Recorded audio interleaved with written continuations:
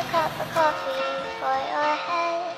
I'll get you up and going out of bed. Yeah, I don't want.